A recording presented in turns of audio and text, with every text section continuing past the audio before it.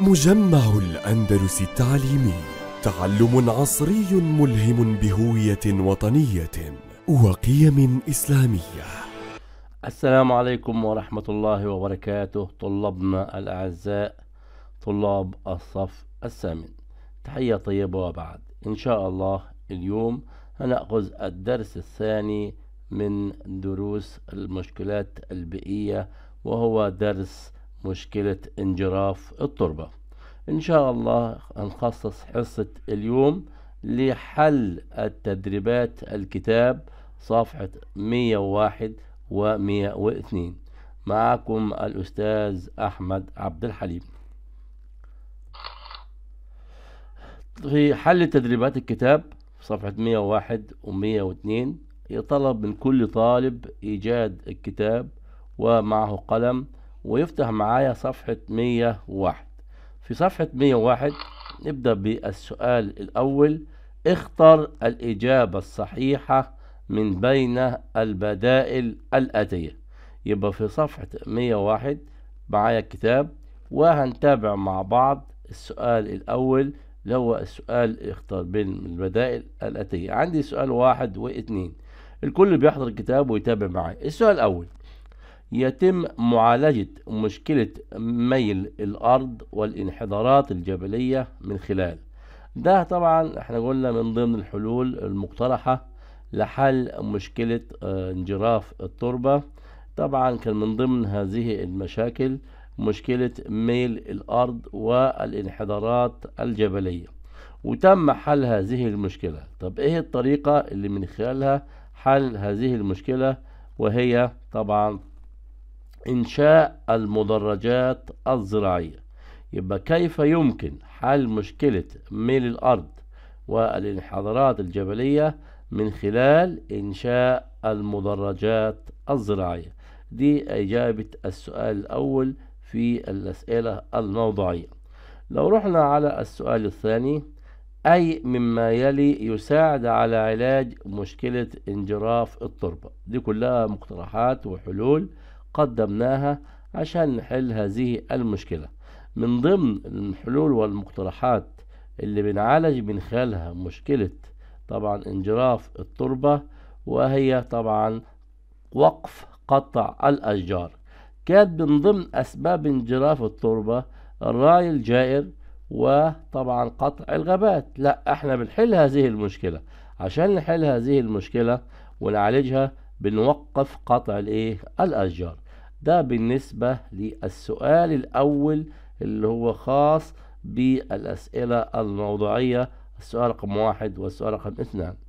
لو رحنا مع بعض على السؤال الثاني عرف انجراف التربة. ده مصطلح طبعا من ضمن المصطلحات الجغرافية اللي أنا من خلاله بعرف انجراف التربة. ما هو المقصود بانجراف التربة؟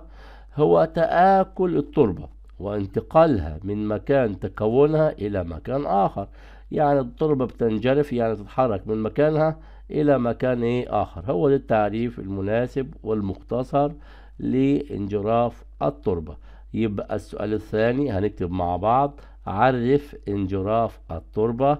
هقول هو تآكل التربة وانتقالها من مكان تكونها إلى مكان آخر. ده بالنسبة لإجابة السؤال الثاني لو عرف انجراف الايه التربة. كده مع بعض يبقى إحنا جاوبنا على السؤال الأول الاختياري والسؤال الثاني اللي هو التعريف. لو رحنا على السؤال الثالث. أجب عما يلي. السؤال الثالث الفقرة رقم واحد بتقول ما الأسباب التي تساعد على انجراف التربة؟ هذا السؤال من الأسئلة المهمة. بيقول لي إيه الأسباب اللي بتؤدي إلى حدوث مشكلة انجراف التربة؟ وإحنا ذكرناها في الحصة الماضية. لما عددنا مع بعض أسباب انجراف التربة وهي أول سبب من هذه الأسباب طبعا واحد الرياح. طبعا الرياح لها دور كبير في حدوث انجراف التربة. ثاني الأسباب المياه. طبعا حيث تعمل على تفتيت التربة وانتقالها من مكان إلى مكان آخر. تدمير الغطاء النباتي. طبعا تدمير الغطاء النباتي بيؤدي إلى حدوث أو إضعاف سمك التربة. الرعي الجائر. وأيضا بعض السلوكيات الخاطئة اللي يقوم بها الإنسان زي طبعا تجريف التربة وصناعة الإيه؟ الطوب. يبقى عندي خمس أسباب من الأسباب اللي أدت إلى انجراف التربة. هنقول اختصار لهذه الأسباب. واحد الرياح. رقم اثنان المياه. رقم ثلاث تدمير الغطاء النباتي. رقم أربعة الرعي الجائر. ورقم خمسة سلوكيات الإنسان الخاطئة زي إنشاء مصانع للطوب من إيه؟ من الطمي. ده بالنسبة للسؤال الأول هو ما الأسباب التي تساعد على انجراف التربة؟ لو رحنا مع بعض على السؤال الثاني كيف يسهم الغطاء النباتي في تثبيت التربة؟ إحنا قلنا الغطاء النباتي له دور كبير وجذور النبات لها دور كبير في تثبيت الإيه؟ التربة. وذلك من خلال إيه أول شيء إن ذلك يمنع أو يحول دون تدهور التربة وانجرافها لأن جذور النبات بتعمل على تثبيت التربة. أيضا بتحافظ على الماء طبعا وبتدوير المغذيات للتربة. هذه الجذور طبعا لها دور كبير طبعا احتفاظ فيها المياه وبتغذي الإيه؟ التربة. أيضا بتحد من التعرية الناتجة على المياه والإيه؟ الرياح. يبقى أنا ممكن ألخص الكلام ده في في كيف يسهم الغطاء النباتي في تثبيت التربة. أول شيء ان جذور النبات تعمل على تثبيت التربة. من خلال إزاي؟ الحفاظ على الماء وتدوير المغذيات. يبقى كده إن الجذور بتحافظ على الماء وبتدور مغذياتها للتربة. كده في النهاية بيؤدي إلى تماسك وتثبيت الإيه؟ التربة. ده بالنسبة لجذور الإيه؟ النبات اللي هو المقصود به الغطاء النباتي. لو رحنا إلى السؤال الثالث الاقتراحات الحلول اللي إحنا ممكن نقدمها للتغلب على مشكلة انجراف التربة. لو تذكرنا مع بعض في آخر طبعا سؤال تكلمنا فيه في الحصة الماضية ما هي الحلول والمقترحات لحل مشكلة انجراف التربة؟ من هذه الحلول. أول هذه الحلول أول شيء وضع مصدات للرياح. وإحنا قلنا مصدات للرياح عشان أحمي النبات. أيضا بزود الغطاء الزراعي يعني إيه؟ يعني بهتم بزراعة النبات والغابات. وأيضا بهتم بالأبحاث والدراسات حول مشكلة انجراف التربة. أيضا من ضمن الأشياء المهمة نشر الوعي الثقافي عند المزارعين بطرق الحراثة وأوقاتها يعني حرث التربة تكون لها مواعيد محددة وزمن محدد.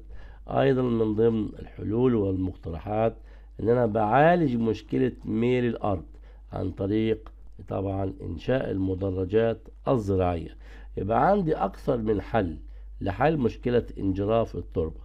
هنلخصهم مع بعض. الاهتمام بالأبحاث والدراسات الخاصة بانجراف التربة أيضا وضع مصدات للرياح زيادة الغطاء الزراعي علاج مشكلة ميل الأرض والانحدارات الجبلية عن طريق طبعا المدرجات الزراعية ونشر الوعي الثقافي عند المزارعين بطريقة الحرث وأوقاتها المناسبة. ده خاص بالسؤال الثالث الفقرة رقم ثلاثة. يبقى السؤال ده مهم جدا. السؤال الثالث يعتبر من أهم الأسئلة وتلخيص شامل لكل عناصر الدرس. الأسباب والحلول لمشكلة انجراف للمياه. طبعا هننتقل مع بعض في صفحة 102 لآخر أسئلة التدريبات وهو السؤال الرابع. أوجد العلاقة بين كل مما يأتي. غزارة الأمطار وانجراف التربة. معروف علاقة عكسية. ليه؟ إحنا عارفين كلما زاد المطر بيبقى فيه سيول. بتؤدي إلى إيه؟ إلى تفتت التربة ونقلها طبعا من مكانها إلى مكان آخر. فأصبحت العلاقة عكسية. زاد المطر فتت التربة ونقلها من مكان إلى الآخر. طيب إيه العلاقة بين الرعي الجائر وانجراف التربة؟ علاقة طردية.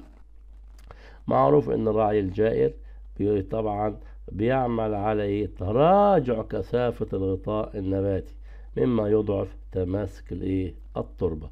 يبقى هنا الرعي لو زاد طبعا بي هنا طبعا بيؤدي إلى إيه؟ قلة كثافة الغطاء النباتي وتراجع كثافة الغطاء النباتي مما يضعف تماسك الايه التربة. فهي ممكن تمشي علاقة طردية وعكسية الاتنين مع إيه مع بعض. لأن لما يزيد الرعي بيتراجع ويقل كثافة الغطاء النباتي بالتالي بيضعف من التربة. طبعا معروف إن جذور النبات لها دور كبير في تثبيت الايه التربة. وبكده يكون حلينا التدريبات اللي خاصة بدرس انجراف التربة وشاكرين لكم حسن الاستماع. والسلام عليكم ورحمة الله وبركاته. تحياتي الأستاذ أحمد عبد الحميد